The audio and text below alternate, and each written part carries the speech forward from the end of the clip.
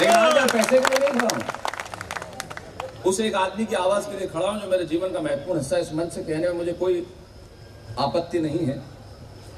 आपके महाराज कुमार हैं वो लक्षराज सिंह।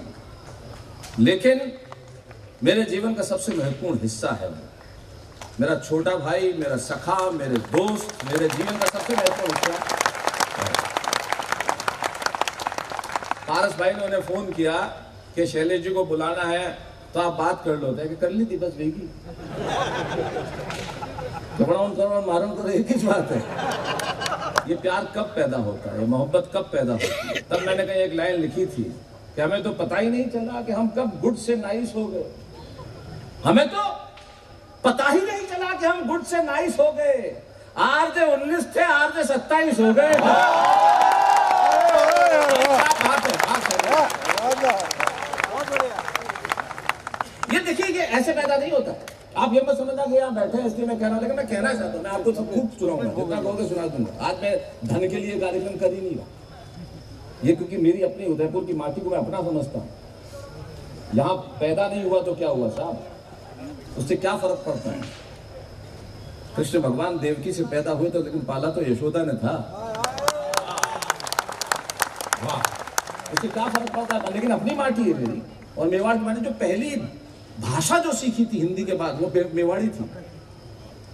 आज भी मैं मेवाड़ी बोलता हूँ। मेरे सभी मेवाड़ी लोगों के साथ। उसके बाद मैंने गोडवाड़ी और मारवाड़ी सीखी धीरे धीरे। तो मैं सब सब डायलेक्ट्स बोलता हूँ। वो बहुत ज़रूरी लेकिन यहाँ मैं कहना चाहता हूँ ये बात। ये बात बहुत कहना ज़रूरी है।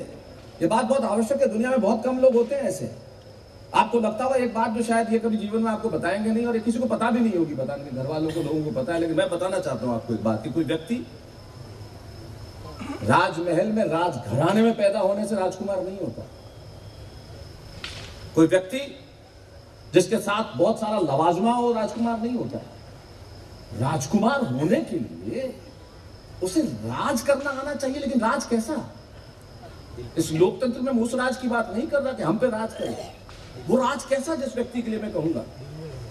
कला और संस्कृति के लिए कोई व्यक्ति कितना कितना समर्पित हो सकता है उसकी एक बात जो कभी नहीं आपको पता होगी, आप कभी जाए, जहाँ ये बैठते हैं, इनकी कुर्सी के पीछे इन्होंने पाँच फुट और छह फुट की तस्वीर लगा रखी है, जो इनकी और मेरी है। ये कविता के प्रति प्यार का एक बहुत साधारण सा एक एक संदेश हो सकता है, लेकिन उससे बड़ा संदेश मैं बताता हूँ।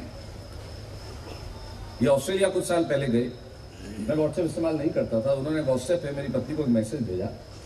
कि कहाँ है बॉस चीफ का है? मुझे कुछ भेजना है, कुछ दिखाना है। तो उन्होंने वीडियो मुझे देखा। मैंने देखा नहीं खोलते ही मैं समझ गया था कि यार मैंने रख दिया। हिंदी कविता का इससे बड़ा सम्मान दुनिया में मैंने किसी व्यक्ति के दिल में नहीं देखा।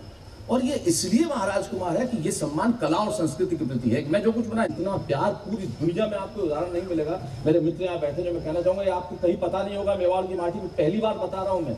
हालाँकि मुझे बाद में कहेंगे कि आपने क्यों बताया, लेकिन ये बताना आवश्यक है किसी व्यक्ति के दिल में कला, संस्कृति, भाषा के प्रति कितना अनुराग हो सकता है। वो चार पंक्तियाँ, उन्होंने उसके नीचे लाइन लिखी वीडियो के नीचे कि now I will burn with it जिसका हिंदी अनुवाद ये होता है कि अब ये मेरे जीवन से, ये मेरे शरीर से पंक्तियाँ तब जाएगी जब ये शरीर जलेगा इसलिए कि वो माँ कविता की चार पंक्तियाँ इन्होंने अपने हृदय स्थल पे परमानेंट टैटू करवा रखी है वाह, वाह, वाह।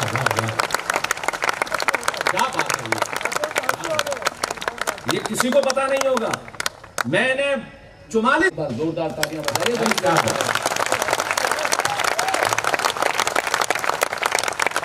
और ये अधिकार मुझे है बड़े भाई के नाते जो अधिकार होते हैं, वो सारे अधिकार मेरे पास है।